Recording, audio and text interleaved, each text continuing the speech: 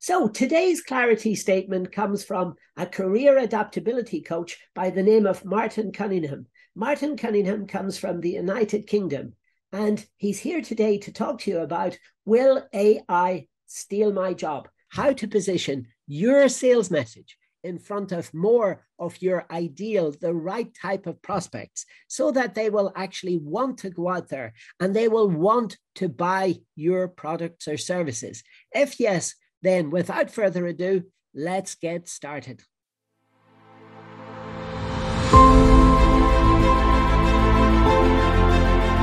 Is AI going to take my job? Why is it all of the things I've tried, tested, and have worked for me previously no longer work for me? Let me tell you, if you're thinking that and other negative things about how your life is progressing at the moment, you're not alone. You're really not. And yeah, it's true that the exponential pace of change today is the slowest we are going to know for the rest of our lives. It's just going to get faster. But the good news is we can adapt. We've adapted throughout the whole of our history of, of humankind. And we can tap into your ability, your character, and the environment and show you how you can become more adaptable. And it's a really quick process because the company that I partner with, who've worked out how to measure your uh, AQ, your adaptability quotient, break it down into your ability, your character, and the environment. Now, the environment's difficult to change, but you can actually prime that better for success. The character, well, that's a bit more static. It's like your Myers Briggs type and trait sort of stuff. But your ability, well, that's very malleable, and we, we can focus on areas of that. And I've seen some rapid change in some of my clients since I've been doing this. So, how can I help you?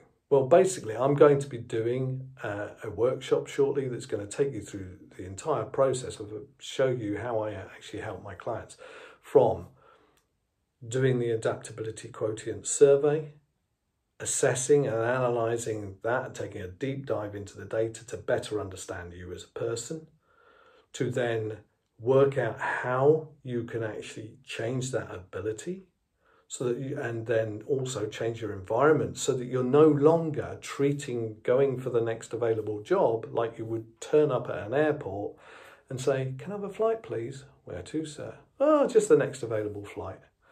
Sounds ridiculous, doesn't it? But that's what we do when it comes to our careers. We just take the next available job that comes along that kind of fits, but we don't have a destination in mind.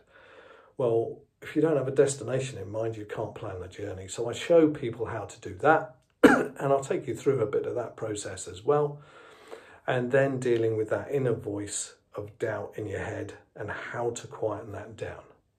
If you want to know more, look out for my workshop. It's coming soon, and I'm really excited to be able to help more people.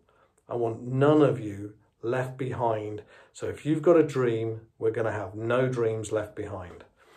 Anyway, stay in touch, keep looking out for me, and I'll see you in the next video. Most ambitious, fast paced entrepreneurial coaches struggle to get their message about the unique blind spots you resolve in front of the right type of coaching client. An iCandour digital marketing alchemist can transform your knowledge into information and this information into gold by positioning your message to the top of Google in under 24 and a half minutes flat so that you can stop relying on word of mouth and referral magical marketing and instead have a predictable stream of income from awesome coaching clients. Come and join us for some epic digital marketing strategies.